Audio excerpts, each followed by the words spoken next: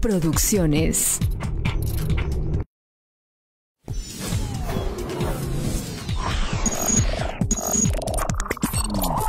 Lens Video Producciones.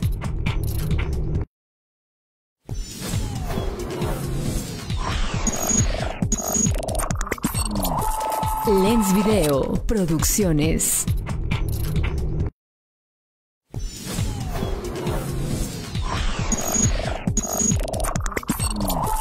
Lens Video Producciones. Lens Video Producciones, los expertos en streaming. Los expertos en streaming. Para que tu evento llegue a todo el mundo, abarcando todos los ámbitos del mundo de la información. Amplía tu audiencia, la calidad marca la diferencia.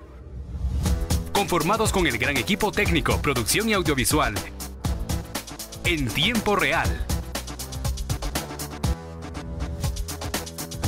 Contáctanos lensvideopro.gmail.com facebook.com diagonal lenstv.com.mx Lens TV.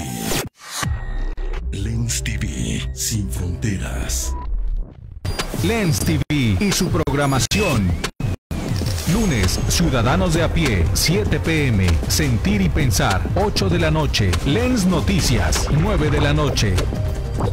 Lens TV y su programación. El Chal, 7 de la tarde. Platiquemos 2.0 a las 8 de la noche. Lens Noticias, 9 de la noche. Y El Pueblo, donde no pasa nada, 9.35 de la noche.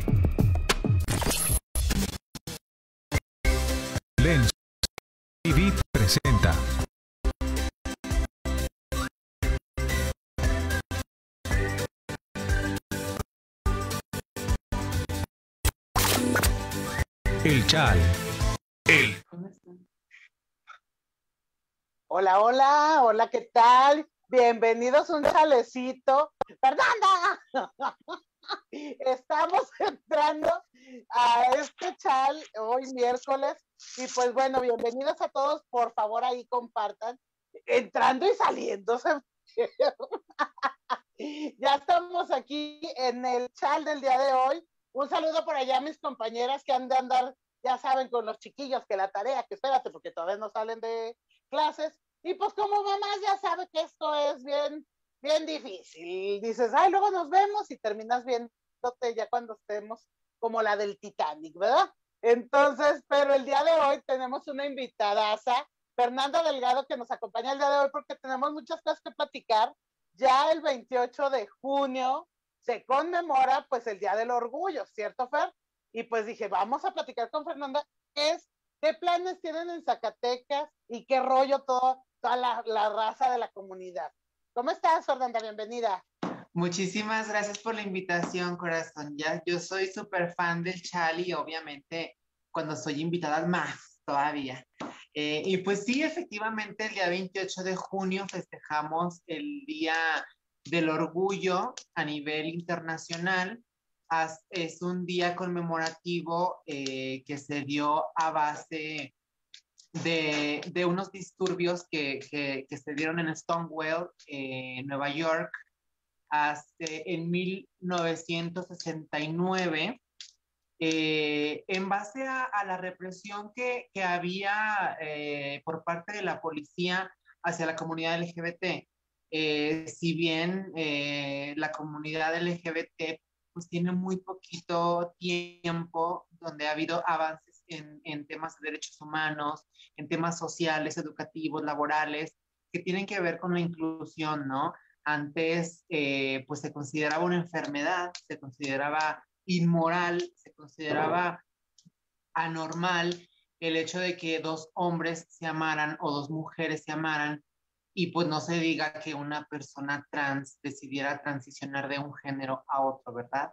Entonces, tenemos muy poquito eh, eh, en cuanto a avances, pero creo que ya es suficiente para tener una vida digna como comunidad LGBT. Y es por ello que es, es, es, un, es un, día muy, muy importante porque nos recuerda eh, que no debemos callarnos, no debemos callarnos ante las injusticias, ante las represiones, ante el atropello de nuestros derechos humanos y ante todo lo que nos limita como seres humanos. Por eso, pues es bueno, es bueno eh, celebrar ese día. Claro, y, y, estaba viendo que, pues obviamente a raíz de, de, esas fechas que uno pensaría que es muy atrás, pero no, este, pues estamos hablando de 69 años 70 y este, y años atrás, pues, o sea, había una, una serie de, pues de cosas que les hacían a, a los chicos como dices tú, que se les decía que era, que era enfermedad, electroshocks, eh, los encerraban, estás loco, o sea, digo, infinidad de cosas este, que gracias a Dios han ido pasando. Estamos muy lejos todavía, ¿estás, de acuerdo, Fernanda? Pero se ha, se ha ganado mucho, mucho, mucho camino, ¿cierto? Claro, así es. Sí, la verdad. En Zacatecas obviamente, pues de por sí México, ¿no? Digo, en Estados Unidos estamos igual, e, etcétera. Pero tú, ¿cómo has visto aquí en Zacatecas este, los grupos que se han juntado? Mucha gente dice, es que ya salen por todos lados, es que, o sea, a lo mejor era antes más difícil que algún chico, no sé, de secundaria o más pequeño o de prepa decidiera, pues, decírselo a sus papás lo que está sintiendo y que simple y sencillamente pues se siente atraído hacia el, mismo sexo. Ahorita tú cómo has visto el, el en Zacatecas, pues el, el, el crecimiento y, y, cómo se han ido organizando. Fíjate que afortunadamente en Zacatecas desde hace, ¿qué será?, cuatro años, eh, todas las organizaciones civiles que había por ahí este, iniciando acciones afirmativas a favor de su sector de la población, ya sea de lesbianas, de gays, eh, FACOM, que es Familiares Contigo, es, es, un, es un, una organización eh, de papás de la diversidad sexual, eh, de personas de la diversidad sexual, y, y así, ¿no? diferentes eh, organizaciones, entre ellas la mía, que es Transformando Vidas, es la única organización que vela por los derechos de la comunidad trans. Nos, eh, nos juntamos, Martín Uvario fue el que hizo como la, la, esa, reunión épica que, que sucedió hace como cuatro años en base a que organizáramos la marcha de la diversidad sexual, porque creo que es uno de los eventos más esperados para muchos zacatecanos, no solamente de la, de la comunidad LGBT, creo que a muchísima gente le encanta el desfile, le encanta ir a ver todas las expresiones diversas y plurales artísticas que, uh, que, que, podemos expresar ese día. Entonces, eh, estamos muy bien organizados. Llevamos un protocolo, llevamos ya un camino eh, y una agenda muy específica de cómo ir avanzando en el tema de, de derechos eh, humanos, de, de derecho, del tema de incidencia política, de protocolos de atención en, en las instituciones públicas, de conferencias, charlas, eh, políticas públicas, todo lo que tiene que ver con los avances de nuestra agenda está muy bien organizado eh, por estas personas. Ahorita Paz Barrón es la, la encargada de organizar la, la, marcha de la diversidad sexual. Ahora sí que ella es la mera mera, la que dice, la que le da el último sí, el último no, y ya todos los demás pues hacemos fuerte a esta mujer que es una gran líder, la verdad. Sí, y, ya bueno, tiene bastante tiempo, ¿cierto? Así es, ya, ya la marcha, esta es la marcha número 19.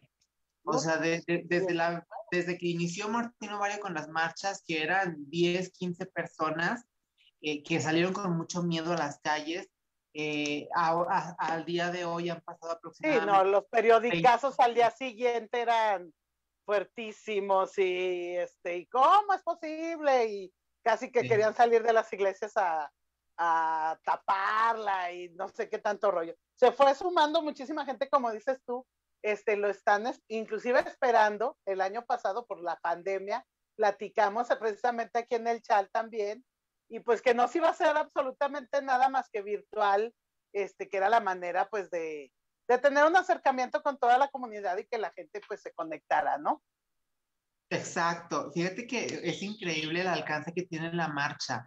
Eh, mucha gente la ve por de veras por apoyar o de veras por por empaparse de lo diverso y otra gente hasta por morbo, ¿no? Pero por muchas situaciones la marcha tiene un impacto impresionante en la sociedad zacatecana, en general en, en cada espacio, ¿no? Donde, se dan ese tipo de, de, marchas.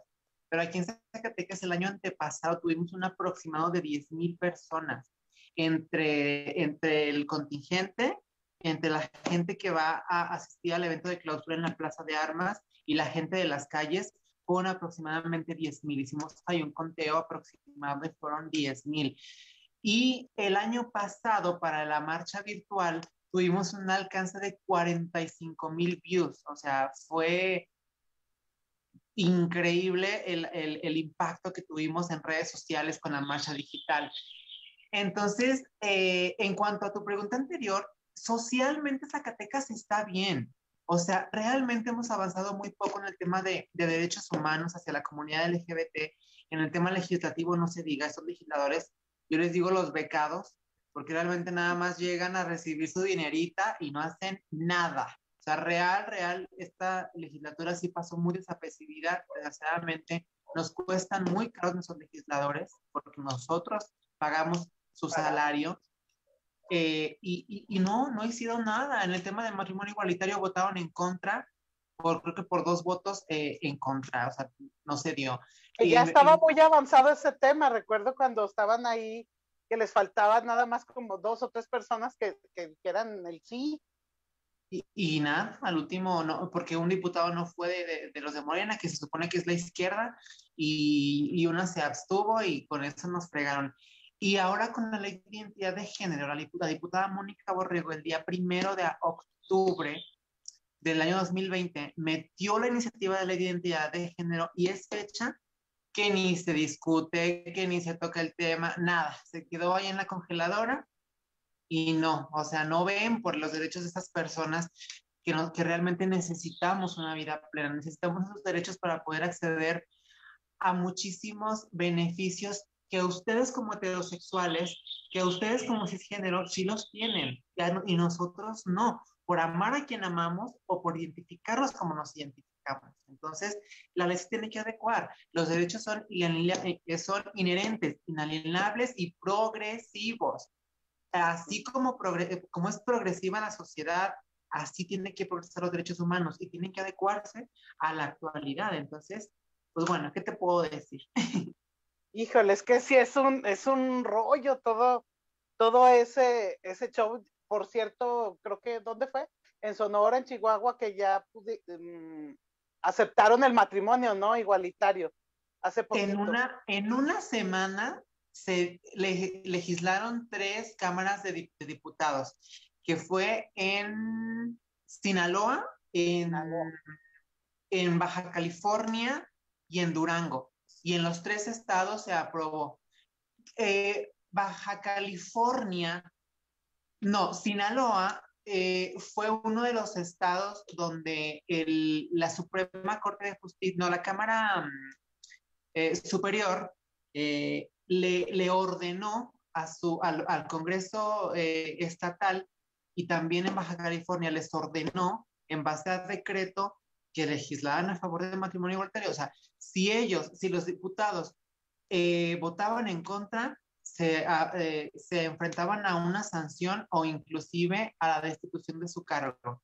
Y creo que falta muy poquito para que eso suceda aquí en Zacatecas, porque nosotros hicimos la denuncia correspondiente judicial en, eh, eh, en contra de, de, la legislatura actual y, y, ojalá pronto salga antes de que se vayan para que si no acatan esa, decir, pues es que ya están agarrando maleta, Miki. Sí, ya, ya. Como, o sea, como que dejaron en la bolita a los que sigan y más si es que los pusieron en alguna que otra propuesta, porque una que otro partido puso el loco y este, pero de los que ganaron, pues ojalá haya estado en sus propuestas y ahora tengan que pagar, obviamente, con, con la verdad y con legislar lo que prometieron que iban a hacer.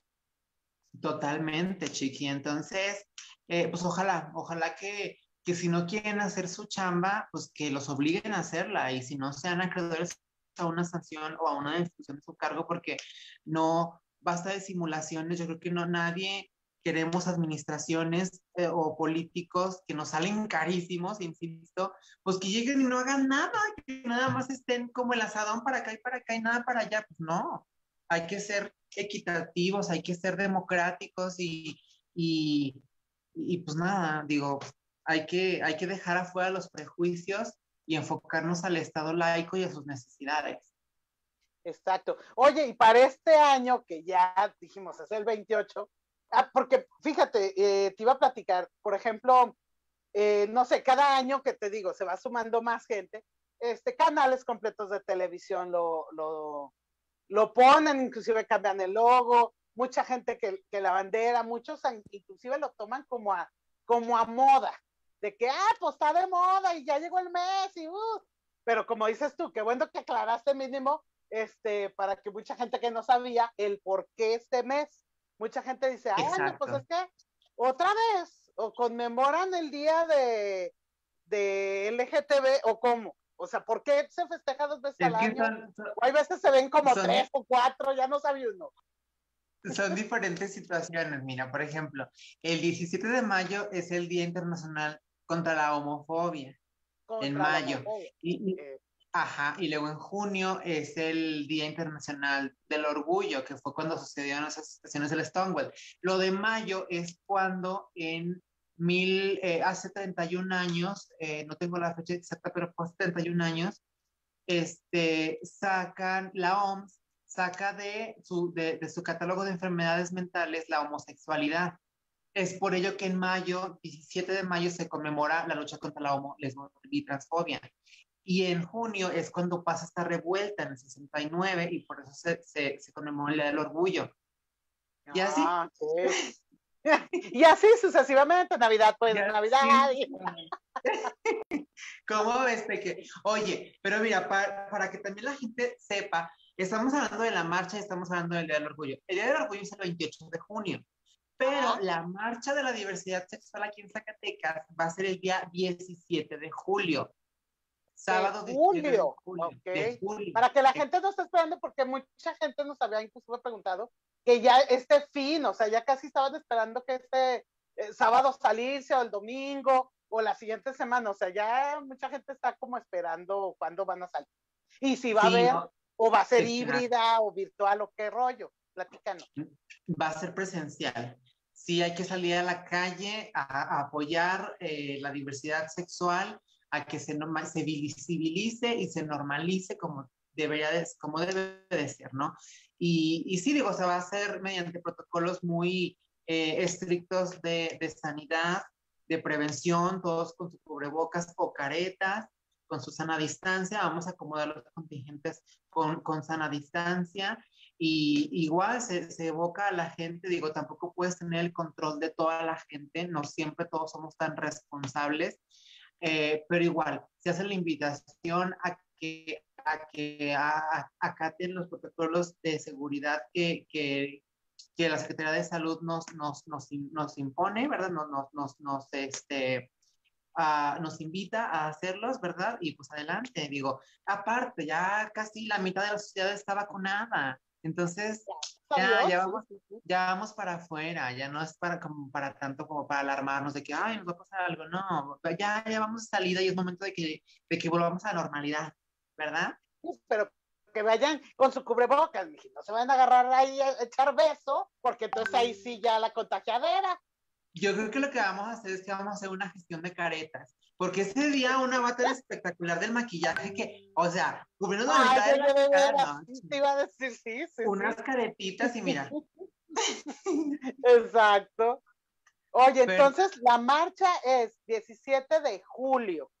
17 de julio. Y el Festival de la Diversidad, el Festival Cultural de la Diversidad Sexual que lo organiza la maestra Sara Ortiz es una semana antes. Sea, no, no tengo bien la fecha exacta, pero es una semanita antes. Haz de cuenta que esa, esa semana que te viene en el 17, no, la anterior eh, eh, es el Festival Cultural de la Diversidad Sexual. También Zacatecas es uno de los pocos estados, Con me conciertos, cosas así, presentaciones Exacto, que, conciertos, charlas, obras de teatro, exposiciones de fotografía, concursos de fotografía, de poesía, de cuento, de está muy padre. Realmente la, la maestra Sara tuvo una visión muy objetiva hace, me parece que cinco años que es que se está llevando a cabo este, este, este festival y, y cada año ha tenido muy buena respuesta. Y cada año le el presupuesto, ¿verdad? Como siempre el gobierno. Pues, y este año, pues menos. Pero bien. Pues, salida. Así es, pero va a ser muy padre. Ojalá que, que, nos acompañe toda la gente para que conozca de la diversidad sexual. No, y que esté atento ahí a las redes. Este, ahí te encargamos ahorita, en cuanto se termine el chala ahí a la mitad, este, nos pongas más o menos las páginas de Facebook donde la gente se puede enterar, porque luego, chin, iba pasando y se oía bien bonito. Chin, ya no ves la foto al día siguiente y te da un coraje. Exacto. Es como cuando te pones medio jarra y te quedas dormido y no fuiste a la fiesta. O sea, es muy feo quedarte con las ganas, ¿estás de acuerdo? Sí, sí. Entonces es bien que estar haciendo el face y que ayer fue, ¿sabe qué? O sea, entonces hay que estar enterados bien de quién van, de cómo va a estar el conciertito, en dónde va a ser y todo el rollo. Invitamos ahí a la gente. Todavía estamos por confirmar a ver qué artista nos va a acompañar. Todavía no sabemos muy bien quién. Ahí estamos en veremos con algunos Oye, y el día de la marcha, este, piensan terminar en, eh, como dices tú, en Plaza de Armas, algo así, con algún evento ahí también. Así es, ahí está el posicionamiento, eh, eh, ahora sí que político, social, en cuanto a los colectivos, nos compete dar ese mensajito de cómo estamos en Zacatecas, de avances y de deudas que tiene el Estado todavía en, cuanto a, a nuestros derechos. Y pues también se da un performance este, vamos a tener ahí un artista, vamos a tener influencers de la comunidad también, invitadas especiales, invitados especiales de, de, de, tanto políticos, artistas y demás. La verdad es que, no, no, no, cada año nos estamos aventando la casa por la ventana porque Zacatecas te lo merece.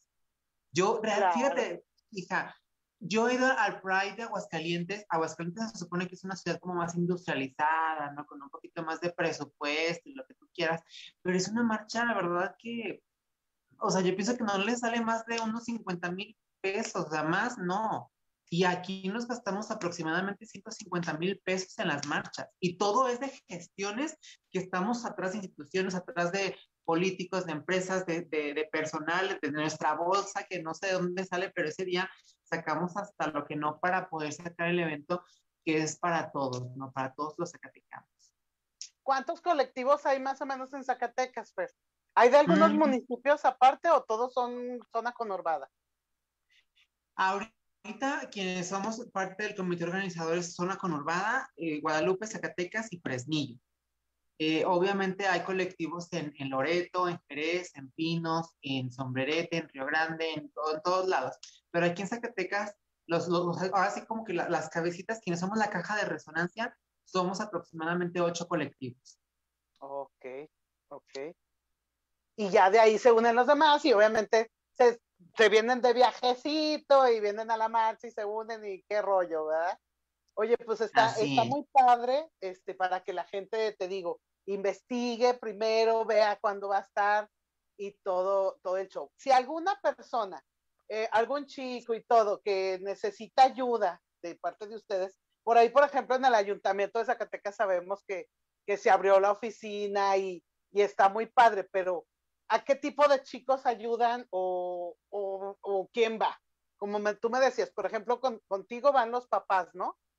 ¿O cómo está el rollo? Platícame. No, tenemos una organización que se dedica a dar asesoría, seguimiento y apoyo continuo a los papás que se llama FACON, que es Familiares Contigo. Por ahí es de, de mi amiga Dulce, eh, Dulce, Dulce y Alex Gutiérrez. Ellos son como los fundadores de, de FACON. Pero en las oficinas de la diversidad sexual tenemos áreas, un área de psicología, un área de, de, de trabajo social, un área de eh, un consultorio médico y un área común, ¿no? O sea, ahora sí que depende de la necesidad del, del ciudadano o ciudadana que se acerque a la, a, la, a, la, a la, oficina, ese seguimiento que se les da. Desde apoyos sociales, de los que tienen ese de sol, que es que los boilers solares, que los tinacos, que la despensita, que los apoyos económicos, todo lo que tenga que ver con apoyo social, se da también espe específicamente para la comunidad LGBT. Okay. Asesoría psicológica también, porque realmente toda la comunidad LGBT, todas las personas necesitamos apoyo psicológico, todos y todas, oh, sin oh. distingo alguno. Pero la comunidad LGBT, como es una comunidad que de alguna manera es violentada, es, eh, se nos hace bullying, eh, a veces la familia no acepta y vez por ahí arrastrando muchas cosas, es, es, importante que se dé una asesoría psicológica y tenemos un, un eh, psicólogo maravilloso que es Bruno Gael Sánchez, que inclusive es mi, mi, el vicepresidente de Transformando Vidas es un hombre trans, orgullosamente trans, licenciado, profesionista, de los mejores psicólogos que conozco. Y, y, así, ¿no? También el tema, por ejemplo, de los doctores. Imagínate, imagínate que basta, que va un hombre, barbón, así musculoso, ya sin, sin glándulas mamarias, este, muy, muy varonil, que hasta habla y dice, ah, caray, y que llegue a solicitar o, que llegue a formarse al ginecólogo. Híjole, dices, ¿qué, qué, qué, quién es? O, o, sea, qué incómodo para las otras pacientes que están ahí esperando, qué incómodo para la o el ginecólogo, qué incómodo para él como hombre trans. Pero es que tenemos, o sea, una anatomía específica que necesita, este, ahora sí que requerimientos muy específicos. Igual a mí como mujer trans, yo me acuerdo que cuando fui a sacar mi cartilla al, al, al, al seguro, y así, o sea, al, al principio normal, ¿no? Yo dejé mis documentos y me dieron mi cartilla rosa y todo normal. Y luego, no, pues que le vamos a hacer un, un examen de, eh, de valoración. Y yo, ah, ok, a ver, y que le vamos a explorar las glándulas mamarias, y no sé, que le vamos a hacer el Papa Nicolau. Y yo, este, eh, ¿no? Eso te iba a decir, que te han de haber dicho que el Papa Nicolau, porque apenas vas caminando y, ¡eh, señora, pásale, papá! Si me permites, o sea, y ya le dije, oye, señora el... y ya se los querían hacer también ahí corriendo y Sí, sí, ya me imagino. Digo doctora, doctora, es que mire, yo no soy una mujer cisgénero, soy una mujer transgénero, y por ende, o sea, yo no tengo vagina, yo no tengo, ¿a qué me puedes explicar allá abajo? Gracias. y la doctora. es que sí entonces, que explicarlo, ah, ¿no? Y, y, y, es que, y, no tienen protocolos de atención a las personas trans, no, saben cómo. No tienen ni idea. No tienen ni idea. Entonces, lo que hicieron conmigo es que esas hojitas que tienen que ver con los papá Nicolau, los papá Nicolau, seguimiento de los mismos, se las quitaron a mi, a mi tarjeta rosa. Pues porque nunca voy a requerir eso, eso, eso, esos temas, pero sí requiero endocrinólogo, sí requiero hormonas gratis, porque es, es, mi derecho, sí requiero también urólogo en algún momento de mi vida y cosas así que, que a lo mejor no son de mi género en específico o de mi sexualidad en específico, pero son, son necesidades que tengo como ciudadana y por ende la institución. Como derechohabiente. Exacto, exacto. ¿Cómo ves, hija? Ay, no, es, que sí es un tema súper, súper complicado este, en todos los sentidos. Yo pienso que, no sé tú qué opines, en estos últimos, bueno, en este mes en específico y en estos últimos meses, pues yo pienso que también ha ayudado el que ciertos influencers, como, como dices tú, artistas, influencers, pues han dado el paso, ¿no? Como el, el cómico que yo sigo mucho, el que le hace de la señora este Luis Aguilar, que lo dijo hace poco. Obviamente todos sabíamos, digo, o sea, yo como yo sabía, le salía perfecta a la señora, le sale mejor que a mí, creo. Exacto. o sea, le dije, claro que es gay, o sea, pues es que no sé, es como dijera Juan Gabriel, este, ay, lo que se, lo que se pregunta, ¿no? O sea, pero qué padre que cuando yo vi una entrevista con él y que ya lo dice, es que no es que todo el mundo te presione y allá dilo, ya dilo, pues es que si eres. Y, bueno, si no lo quieren decir, pues también es cuando ellos quieran, ¿estás de acuerdo? Totalmente, o sea, si lo quieres decir, qué bueno, y si no lo quieres decir, también está bien. O sea, Estaba viendo un documental de Miguel Bosé que inclusive desde muy joven y que tenía problemas con el papá por lo mismo, y etcétera, pero él no tenía como por qué decirlo ni a los medios, ni, o sea, ya está súper grande de edad y, y, a lo mejor van a llegar a los 80 este, y a lo mejor es cuando lo quieren decir, ¿estás de acuerdo? O sea, pues si no lo quieren decir, etcétera. Pero me imagino que ha ayudado mucho el que estos influencers salgan, lo digan, lo demuestren, porque a lo mejor un chavito que tiene la idea, o una niña también que dice, no, pues es que me gusta mi compañera, ¿verdad? O sea, me gusta otra niña, que lo pueda decir este, sin ese tabuco, tabujo, porque a ella sí lo va a querer decir, ¿estás de acuerdo? Claro, y, fíjate que me, gusta mucho que actualmente tú entras a Netflix y ves todas las, las, series de moda, las que están como ahorita pegando y que están así como más actuales, y hablan de la diversidad sexual de una manera muy objetiva, muy natural, que, que mucha gente que no entendía situaciones con ese tipo, con esas series, los, lo va a entender de una manera muy fácil y sencilla. Y, y, y, de verdad, nena, entre más se diga algo, entre más se visibilice, entre más y más estemos ahí, ahí, ahí, más se va a normalizar. ¿Cierto? Va a ser así como que, ah, X, así como de, ah, ¿y tienes novio o tienes novia? Ah, no, tengo ambas. Ah, qué chido. Ayer va a ser, va a ser como que, ¿cómo? ¿Tiene Exacto. Y, y a la parte, o sea, dándole vuelta a la página, ¿en qué les afectó, por ejemplo, ahora en, en las elecciones? Que ya consiguen un lugar, que ya estás peleando por una oportunidad precisamente de género, de que no eres ni hombre ni mujer y tienes, o sea, tienes derecho a, a ser candidato, etcétera.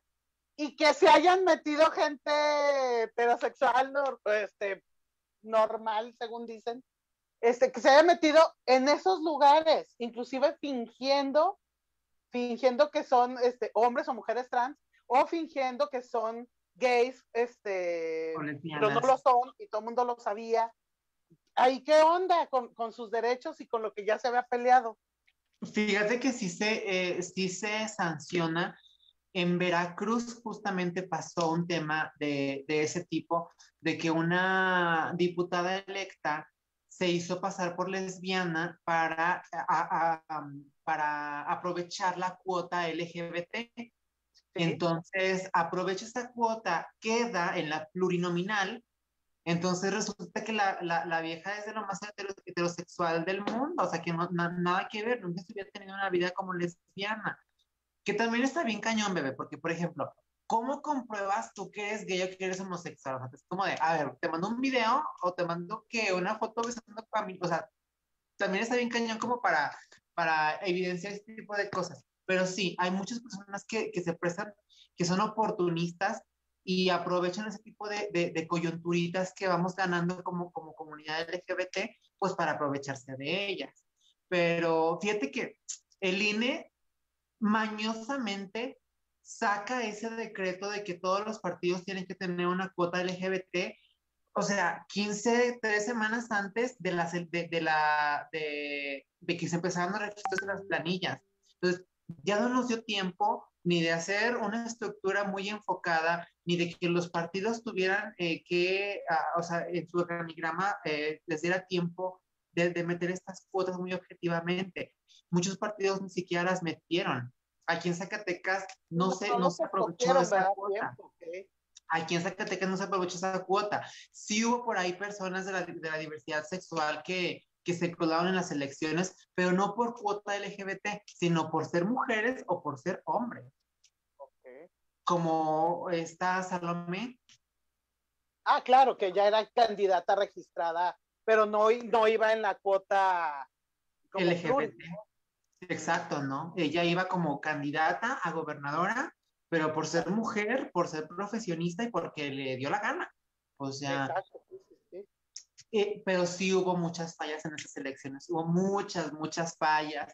Aparte, ¿no? Es un cochinero, bebé, o sea, aquí quien mueve todo es quien tiene el poder y quien tiene dinero y quien tiene contacto, desgraciadamente. Nos falta mucho para ser una sociedad democrática, nos falta mucho para ser una sociedad justa, porque desde arriba, desde, desde, desde nuestros administradores que tienen más poder desde la federación hasta lo estatal y lo local, no se ponen las pilas, no hacen las cosas bien, no hacen las cosas honestamente y no respetan la democracia que deberían de, de, de respetar en nuestro país. Sí, sí, sí, está, está, está, está, cañón. Pues a ver cómo nos va ahora. ahora con los nuevos ganadores de todos lados. Y ojalá este, que nos vaya bien, chica. Ojalá, nos tiene que ir bien. Mi nos tiene que ir bien. Y ya se nos acabó el tiempo, mi Fer. Este, híjole, es que pudiéramos estar platicando horas y horas aquí. Muchas ya, a la gente que se, que se, nos conectó y la que no, yo sé que al ratito lo va a ver o mañana o métase al YouTube y ahí se lo chuta, este, Lens TV, Lens Videoproducciones. Muchísimas gracias, Fernanda, por, por toda la información, por ser este, una chica del chal con nosotros y siempre estar cuando te echamos el grito. Así es, no, pues gracias a ustedes, corazones. Ahorita que estamos en el mes del orgullo y con muchas actividades de la diversidad, chéquense la página de la marcha de la diversidad sexual Zacatecas. Ahí hay mucha información. Diversidad sexual Zacatecas transformando vidas eh, y colectiva lésbica feminista. Perfecto. Para, ya saben, ahí métanse. Cualquier pregunta también que manden un mensajito, un inbox y pues a participar. Mira, yo me puse de rayas, de colores, porque dije, tengo que estar así como, este, colorida, colorida, miji, colorida. Claro. Entonces, este, pues muchísimas gracias a toda la gente. Nos vemos en el próximo chat. Gracias, Fer. Y pues ojalá este, se vaya mucha gente por ahí. Yo creo que vamos a ir ahí a cubrir como Lens TV para ver qué, qué tanto rollo echamos, porque aparte trae muy buena fiesta. Obvia, obvia. claro que sí. Nos vemos a la próxima. Gracias, Fer. Besotes. Adiós. Lens TV presenta.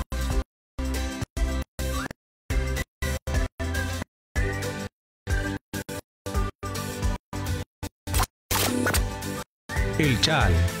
El Chal. Lens TV presenta.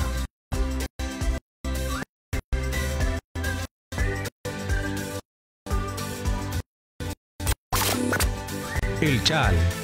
El Lens TV y su programación. Lunes, Ciudadanos de a pie, 7 pm, Sentir y Pensar, 8 de la noche, Lens Noticias, 9 de la noche. Lens TV y su programación, El Chal, 7 de la tarde, Platiquemos 2.0 a las 8 de la noche, Lens Noticias, 9 de la noche y El Pueblo donde no pasa nada, 9.35 de la noche. Lens TV y su programación. Lunes, Ciudadanos de a pie, 7 pm, Sentir y Pensar, 8 de la noche, Lens Noticias, 9 de la noche. Lens TV y su programación, El Chal, 7 de la tarde, Platiquemos 2.0 a las 8 de la noche, Lens Noticias, 9 de la noche y El Pueblo donde no pasa nada, 9.35 de la noche. Lens TV. Lens TV sin fronteras. Lens Video Producciones, los expertos en streaming. Los expertos en streaming. Para que tu evento llegue a todo el mundo, abarcando todos los ámbitos del mundo de la información. Amplía tu audiencia, la calidad marca la diferencia. Conformados con el gran equipo técnico, producción y audiovisual. En tiempo real. Contáctanos lensvideopro.gmail.com facebook.com diagonal lenstv.com.mx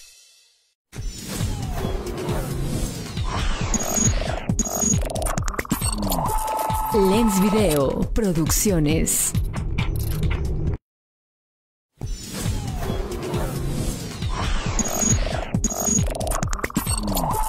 Lens Video Producciones.